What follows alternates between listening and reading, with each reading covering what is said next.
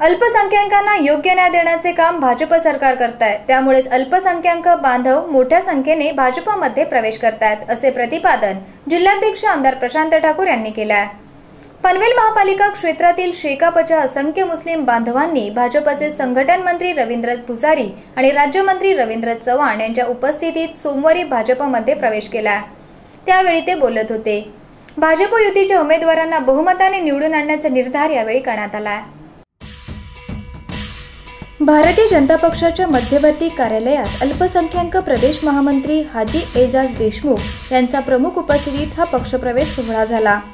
यावेळी शेकापच्या महिला अल्पसंख्याक नवी मुंबई विभागाच्या अध्यक्षा शाहिदा सय्यद नसीम शेख आबेदा सोंडे आसमा शेख नगमा शेख हसन सोंडे जाफर खान अजित शेख सरफराज खान आरिफ मेमन मुज्जा पटेल अंजार पठाण निसार शेख अजगर खोत असिफ शेख जैन खोत गणेश शेख इम्तियाज मुल्ला सुफियान पटेल तसेच रुपेंद्र ठाकरे अमोल मनोरे पद्मावती मुरगेशन. बेनिला मुरगेशन मुत्तुलक्ष्मी मुरगेशन आशा सरडे रेखा सरडे यांनी त्यांच्या समर्थकांसह भाजपमध्ये प्रवेश केला आहे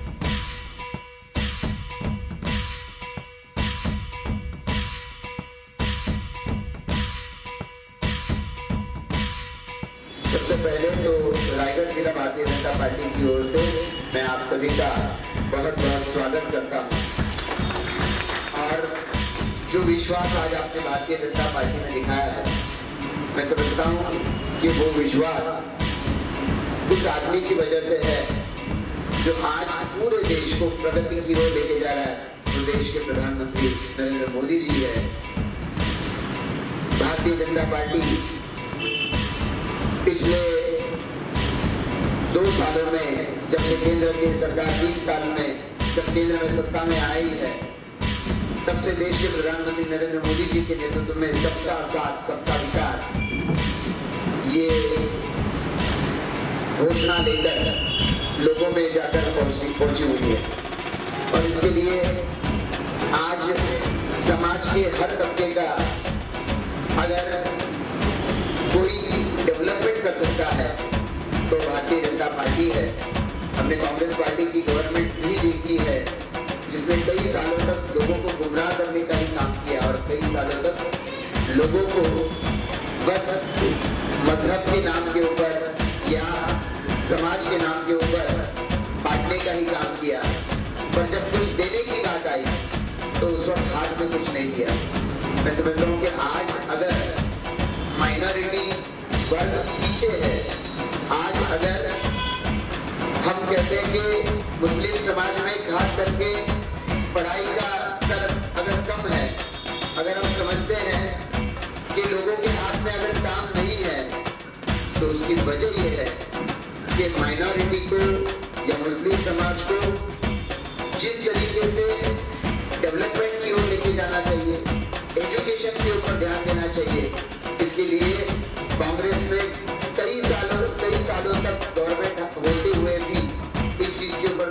दिया। आज उसी का ये नतीजा है कि बहुत बड़ी मात्रा में पूरे देश भर में लोग माइनॉरिटी के, खास करके लोग, मुस्लिम समाज के लोग आज भारतीय जनता पार्टी के साथ में जुड़ रहे हैं। और आने वाले समय में भी आपके माध्यम से चाहे देश की सरकार होने दीजिए या राज्य की सरकार होने दीजिए, इन दोनों सरकारों के माध्यम से जो काम आज हम सभी को दिखाई पड़ रहा है, ये काम चाहे उसमें वर्षों के दिन हमारे मिनिस्टर रविंद्र चौहान जी ने वार्ड नंबर चौदह में जब इनोग्रेशन हुआ तो उस चीज़ का ज़िक्र किया। कि इकोनॉमिकली बैकवर्ड लोगों के लिए जिनकी महीने की आमदनी पचास हज़ार से कम है और जिनके बच्चे साठ प्रतिशत से ज़्यादा मार्क्स अर्जित करते हैं, उन सारे बच्चों को उनकी उच्च शिक्षा, यानी बारहवीं के बाद वाली सारी पढ़ाई ये सारी पढ़ाई के लिए उनका एजुकेशन फ्री करने का काम अगर किसी पार्टी ने किया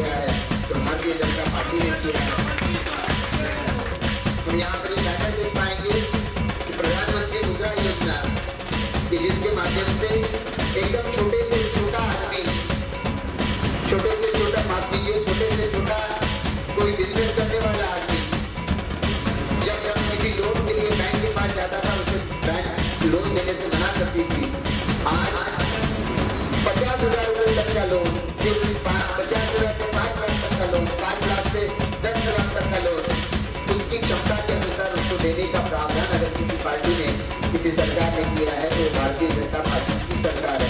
और इसकी वजह से आज देश भर में मुद्रा के माध्यम से लोन देने की बात हो, स्किल डेवलपमेंट के कोर्सेज के माध्यम से उसका ट्रेनिंग देने की बात हो, कई सारे ऐसे मुद्दे हैं जिनका ज़िक्र करना चाहिए। आज हर छोटे से छोटा आदमी जिसके जीवन में उसने कभी मैं अपना इंश्योरेंस निकालूँगा, सोचा नहीं होगा। आज उसका एक्सीडेंटल इंश्योरेंस दो लाख रुपए का मिल जाता है। मैं तीन सौ तीस रुपए में उसका एक साल का उसका दो लाख रुपए का इंश्योरेंस निकल जाता है। तो ये तीन सौ तीस रुपए बारह रुपए में अगर साल भर का इंश्योरेंस मिल जाता है, मैं समझता हूँ कि सरकार आम इंसान, हम छोटे से छोटे घर में रहने वाले आम इंसान की सोचने वाली सरकार है। और इसीलिए ऐसे हर इंसान के इसके लिए देश के प्रधानमंत्री ने प्रधानमंत्री आवास योजना के माध्यम से पूरे देश भर में एक योजना शुरू की जिसके माध्यम से 2022 तक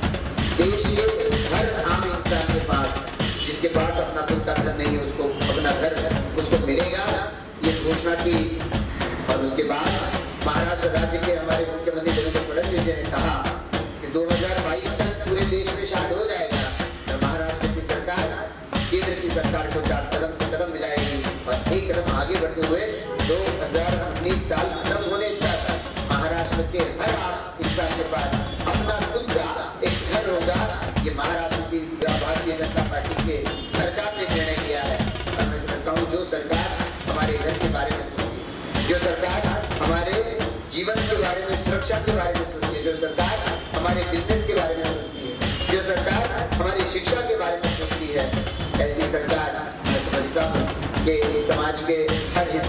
पहुँचे, इसके लिए काम करना भारतीय जनता पार्टी के कार्यकर्ता का काम होगा। ये काम आप और हम सब लोग आज जिन्होंने आयशा जी और उनके सारे साथी, शाहिदा जी माफ़ कीजिए, आपके सारे साथियों ने मिलकर आज भारतीय जनता पार्टी की बागडोर संभाली है। तो आपको आने वाले समय में अपने साथियों के माध्यम से, अपने समाज के लोगों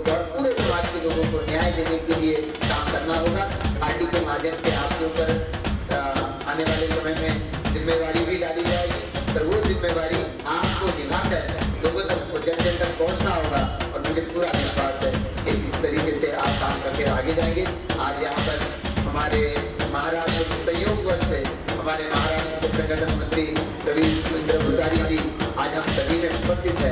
और जबकि चुनाव हमारे सर पर है, चौबीस तारीख का चुनाव है, उसका ब्यौरा लेने के लिए यहाँ पर आए और उन्होंने आपके इस पार्टी के प्रवेश के लिए जब आपके लिए इन्होंने ज़िक्र किया तो उन्होंने भी कहा, बिल्कुल, पार्टी में अगर कोई प्रवेश कर रहा है तो उसका स्वागत करने के लिए हम उत्सुक हैं।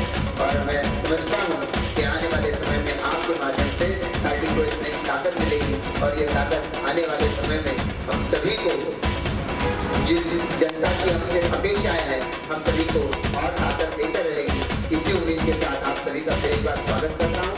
आने वाले चौबीस तारीख के चुनाव के लिए आप सभी का सहयोग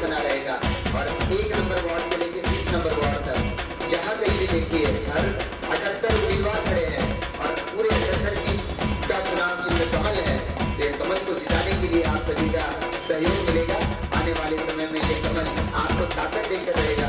इसी अपेक्षा के साथ आप सभी का स्वागत करता हूँ। जय हिंद, जय महाराष्ट्र। अल्पसंख्याक विभागाचे प्रदेश उपाध्यक्ष इतकार अत्तार अल्पसंख्याक विभागाचे प्रदेश उपाध्यक्ष इत्तार अत्तार प्रदेश सचिव ॲडव्होकेट तपसुम बैरागदार। युवा मोर्चाचे प्रदेश अध्यक्ष मिनार शेख।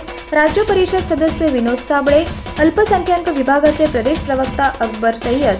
जिल्हा संयोजक शहनवाज मुकादम उपाध्यक्ष इम्रान शेख प्रदेश युवा सहप्रमुख साबिर शेख अल्पसंख्याक विभागाचे तालुकाध्यक्ष मंजूर पटेल शहराध्यक्ष इरफान पटेल नवीन पनवेल अध्यक्ष अमन अख्तर आदी मान्यवर यावेळी उपस्थित होते.